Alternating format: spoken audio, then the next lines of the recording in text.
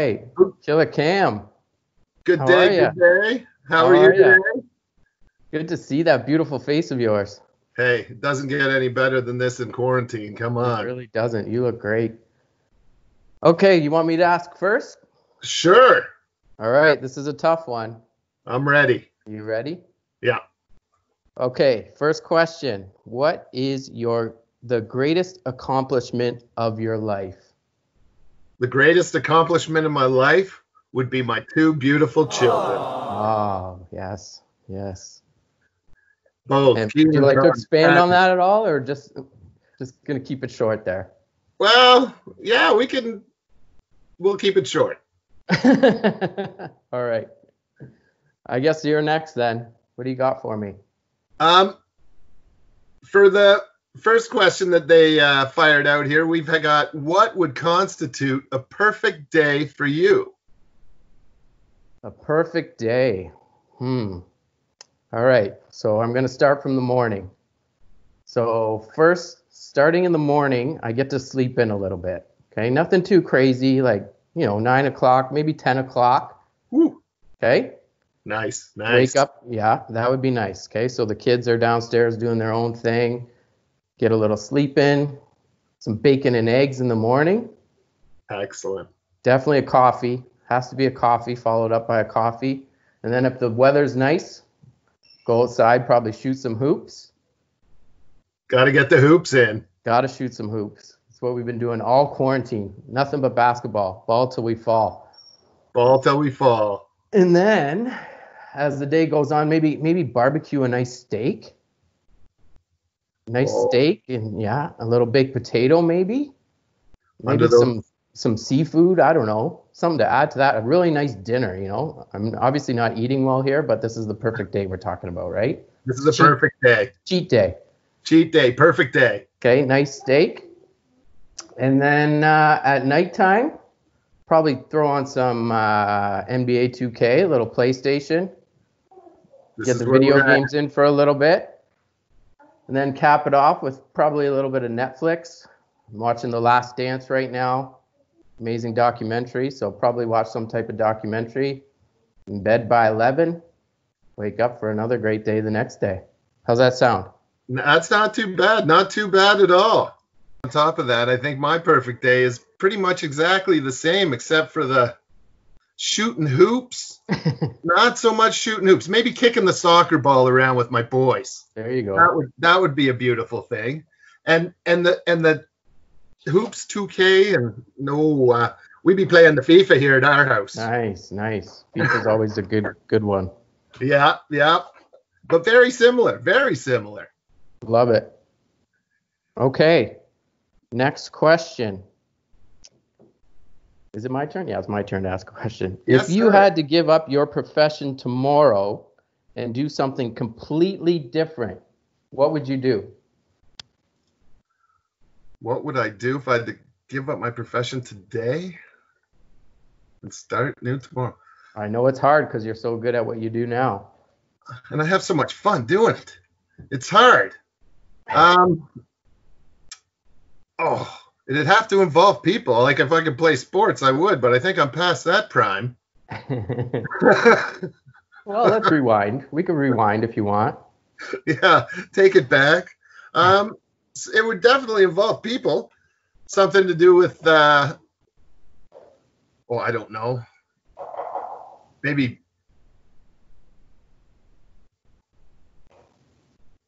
write books. Maybe kick some soccer ball around. Maybe retire. There you go. Retirement sounds good. Can you guess what I would want to do?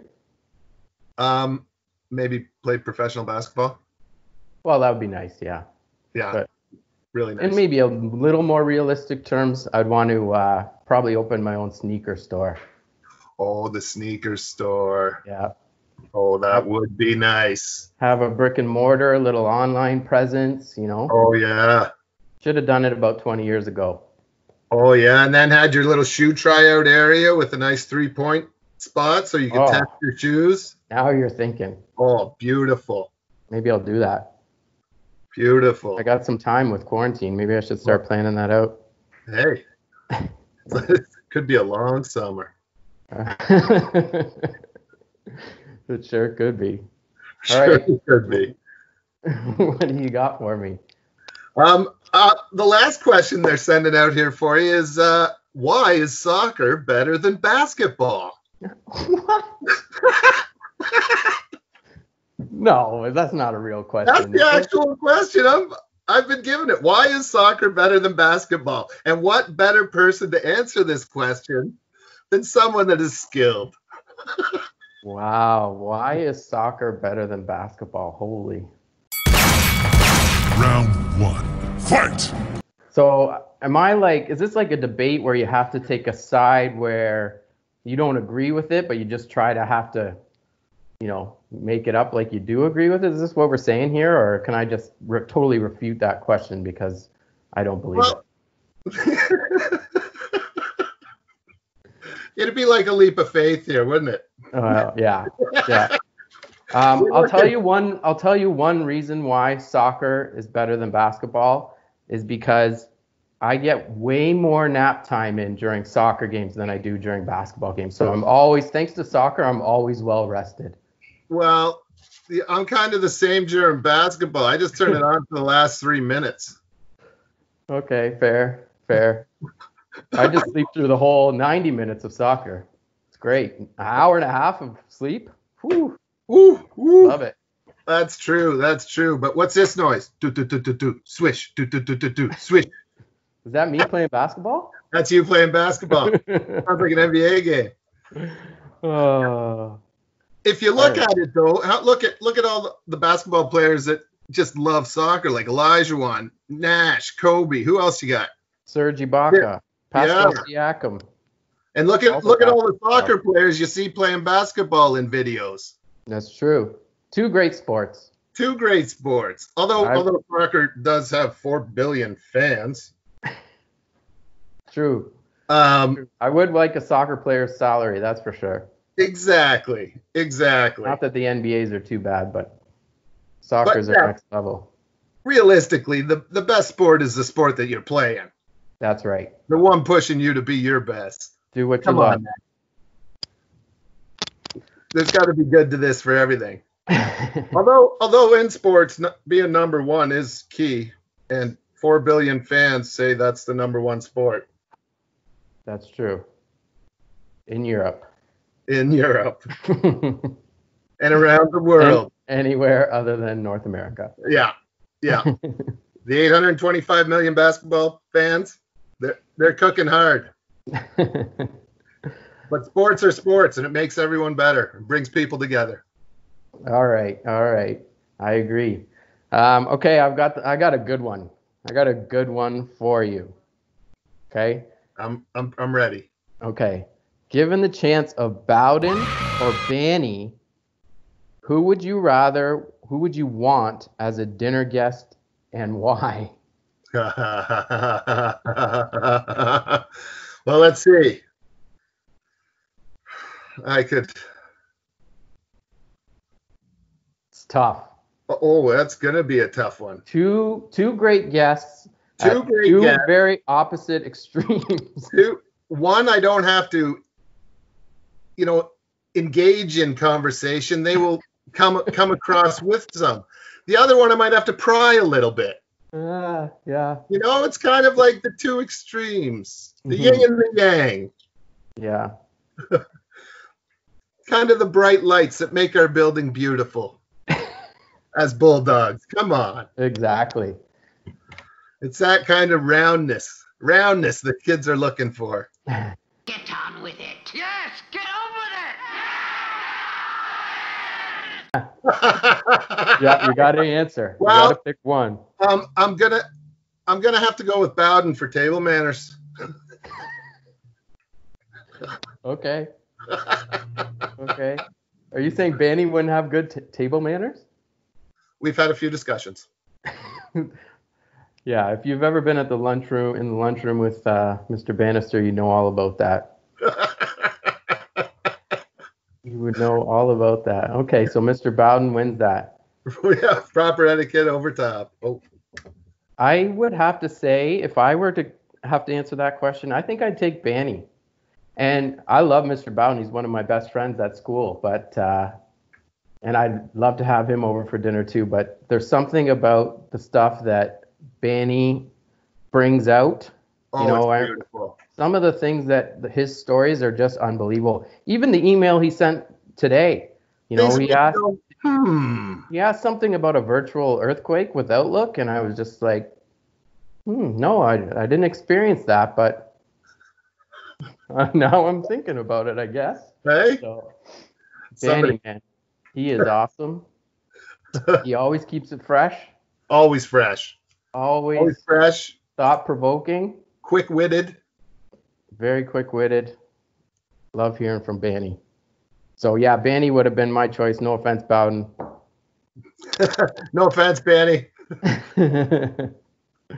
Who was the most inspiring teacher you've ever had? Ooh. Ooh, Okay.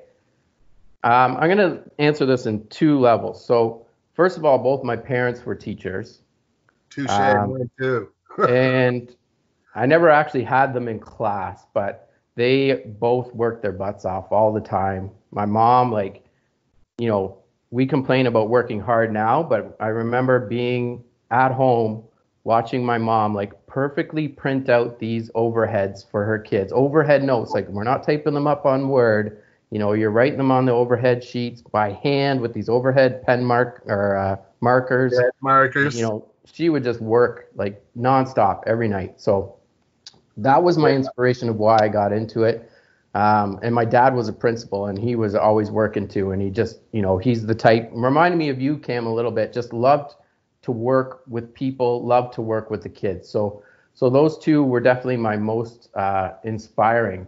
But as far as a teacher that I actually had in school, um, in my OAC year, kids don't know about OAC, but it was grade 13 yeah. um, I had Mr. Padelic at John Paul II. Oh, yeah. Um, and he's still teaching now. He was uh, just started teaching when when he taught me, and he taught me um, uh, history, and uh, I ended up um, Following getting it. a degree, getting a degree in history, and kind of changed the game. He was he was that teacher that that made it matter to me. He was that teacher that uh, that made me want to learn more. So, Mr. Padelic, shout out to Mr. Padelic. They call him Shout out to Mr. Padelic. Right? yeah. Do you remember any of your teachers, Cam? Um, yes, that was as well. Um, I rem- English teacher, Dr. Tucker. Mm. Uh, OACs. Um, he's the one that kind of, yeah, steered me into picking um, history and philosophy as a double degree. So it was like that guy who gives you the kick in the pants, but also lifts you up a bit. Yeah. It's a beautiful thing. A Yeah. weird, yeah. It was just one of those things where you couldn't explain it. It was just a respect you had for the guy, just because Mhm. He respected you as well. But it was just a a connection that I don't know. Yeah. You had to put in the work, though, right? That and that's Yeah. the thing I Oh, remember yeah. about Mr. Oh, Padelic yeah, is, you know, one. he wasn't just some softy, right? He was No, he was going to make you work, but if you did, you kind of earned the respect. exactly, exactly. Yeah. It's a two way street. You got to earn it. got to earn it, and yes, make you work for it too. Makes makes you a better person. For sure. Pushes you, right? Definitely. Almost dangling a carrot out in front of you. That's oh, right. I want that. That's right. So yeah, All and he, right. told me, he said the only person that's smarter than you is the person that read the book first. Very true. That's a good one. That's right. So, So- start reading, kids. That's right. Get out there and read a couple of books just for fun. Make you smarter. I feel like we could start having some sort of like offshoot show about like philosophy with Szabo and Newell. Here, I got. I'll just reach Deep over my thought. library here and grab. I got books of psychiatry and all over the place. Deep thoughts. Man, I've done. a- I've had a lot of time for a lot of thinking. I'll tell you. Yeah, there's been a lot of deep thoughts. Oh my gosh. I think I might change my mind about Bowden coming over for dinner in case he comes over Big with reveal. to, to talk about. Oh, Oh, Oh, oh. that's gonna get edited. that's awesome. I bet that's not gonna get edited now. oh. Whoops. Gotta go. Break off. Break off.